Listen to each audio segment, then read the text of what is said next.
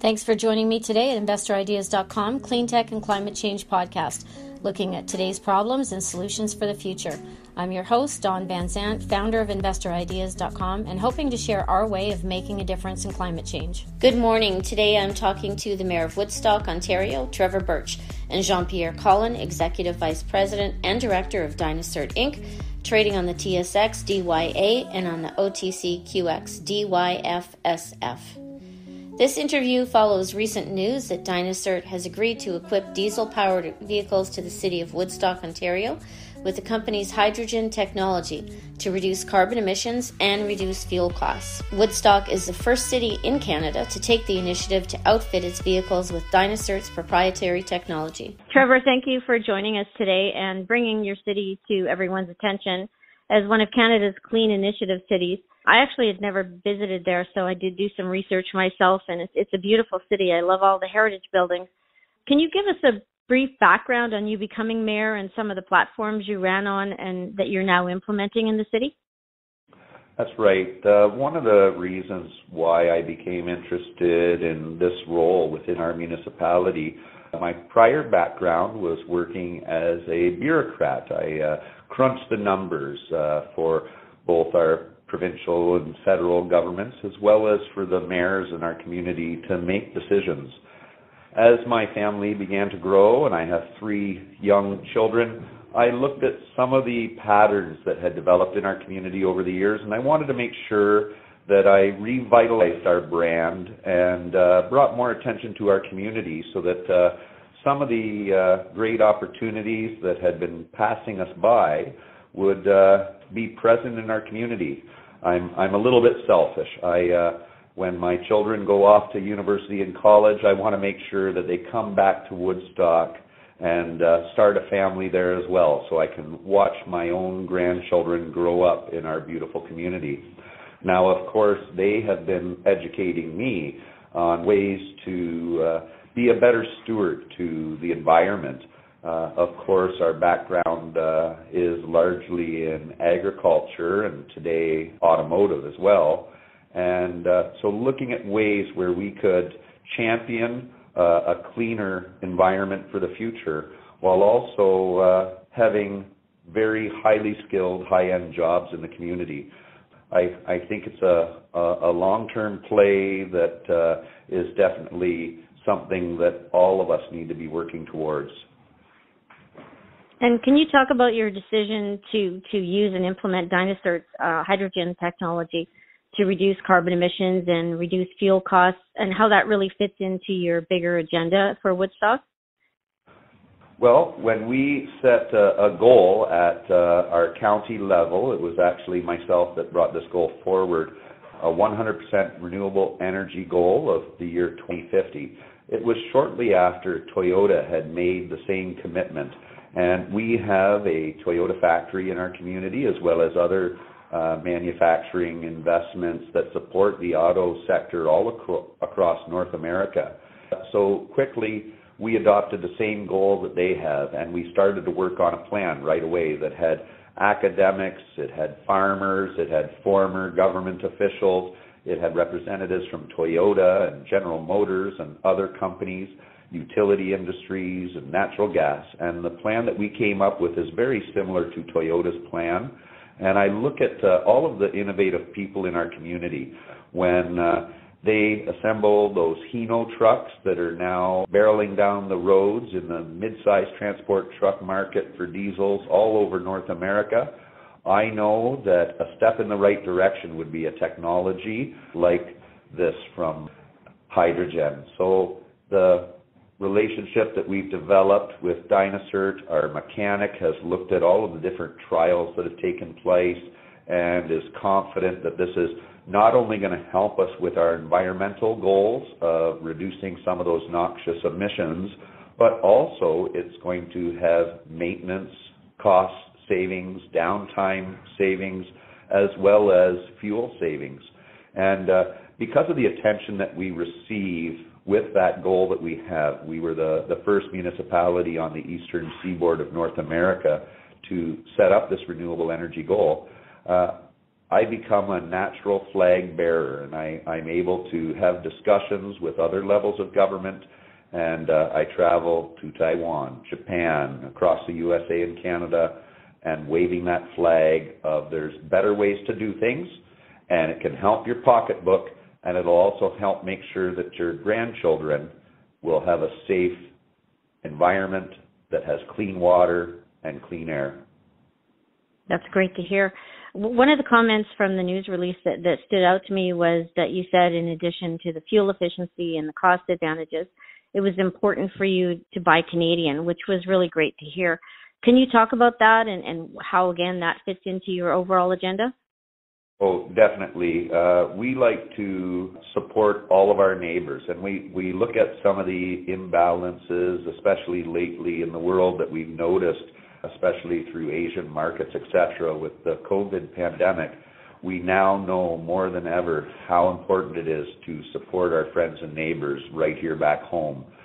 I had a discussion already with the mayor of Windsor right across from, of course, Detroit. So while we were looking out his window, looking at General Motors headquarters, we talked about taking these steps in the right direction and buying Canadian, outfitting our diesel with these units. And I know that there's going to be a lot more individuals here in Ontario and, uh, of course, all across North America that are going to be looking for something that is produced right here in their own backyard.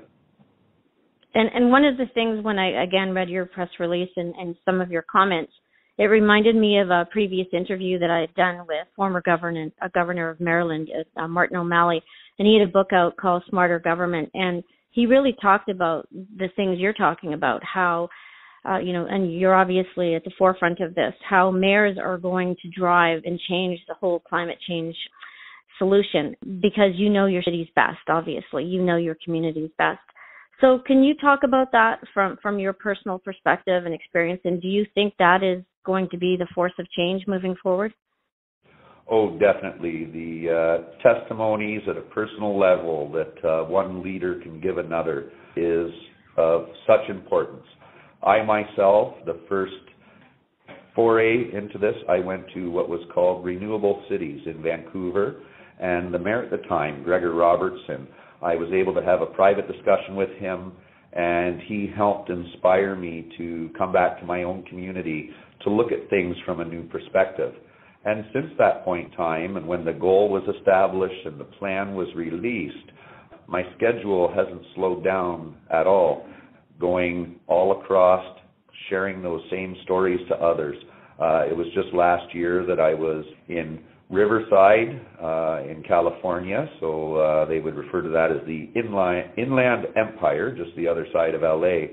And while I was there in the mayor's office and talking about some of the steps that we've been making in the right direction, he was so impressed that I took that time while I was in his community uh, as a guest speaker for the university to take time out of my schedule to come and meet with him personally and help give him new information to take back to his council and his committees. That's what I plan to do, of course, with Dynacert as well. Well, thank thank you for joining us today because it's really uh, great to hear that you're not only taking your own initiative, but you're going to you know go on the road and inspire other mayors to do the same. And we definitely need the change, and and I thank you personally for your contribution to that. Well, thank you. And I like to think we are all standing on the shoulders of giants and the individuals that took a few moments to help inspire me to look at some of these problems from a different perspective. I want to return the same favor to others. Great. Thank you very much. Jean Pierre, thank you for joining us as well today and congratulations on the news uh, regarding Woodstock. Can you go into some more specifics of the deal and the significance of what this represents as the first city in Canada to take this initiative to use your, your technology? Well, thank you, Dawn. And absolutely, this is a turning point for in the history of Dynacert in a very big way. You know, every municipality in the world has pollution problems and is looking for solutions. And it takes the leadership, the trailblazing attitude, the, the strength of a mayor like Trevor Birch of Woodstock to be able to be the first municipality in, in the whole world to take on this innovative technology. So to me, this is the beginning of a whole new era for Dynacert, and that should be very positive for us. I was delighted to hear as soon as we put out the press release and this became public news that Woodstock had adopted our technology. And by the way, it's more than the mayor. It was it was great to work with all the different levels at the city government and with the city of Woodstock at many levels. And this is obviously a team effort on the part of Dynacert as well. Um, I was delighted, however, to see the public reaction, the media coverage, the the phones ringing off the hook from other municipalities saying, "Hey, what what is this all about? We're interested." We all know how it's very difficult sometimes to work with governments. They're complicated organizations to deal with. And I, I will say the city of Woodstock made it easy for us, or as easy as possible, um, which is actually something very thankful from our part because um, it, it is a challenge dealing with any any governments at any level.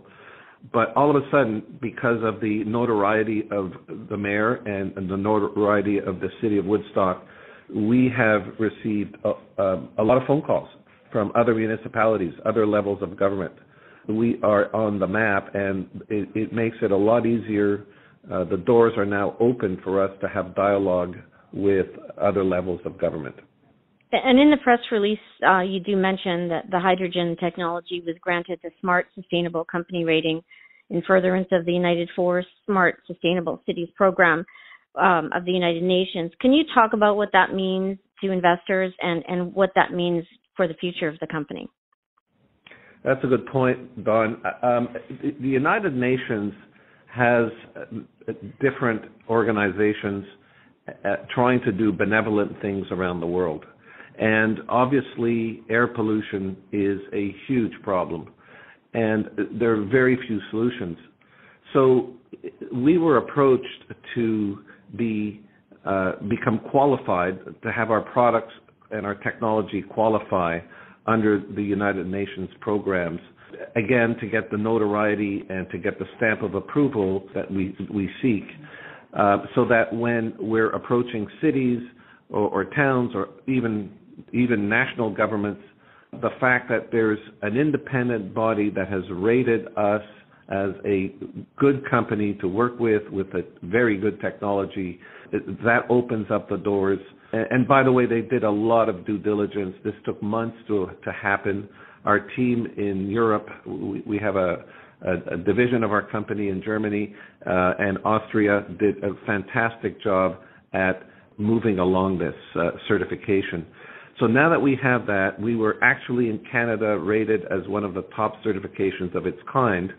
Uh, and, and that opens up a, a lot of cities around the world who are looking for products to solve the problems of pollution.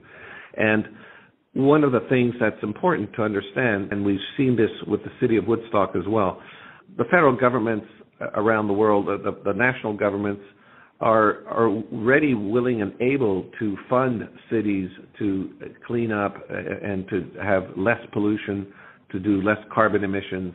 There's a big political movement and funds available for that, but there aren't very many immediate solutions. We all talk about how you know uh, global warming is a problem, but most of us ask ourselves, well, what can I do? And and governments are asking themselves the same question. So by having the United Nations certify and rate us and feature us actually as a technology that is available today, that is commercial today, that is global in nature, we can ship around the world.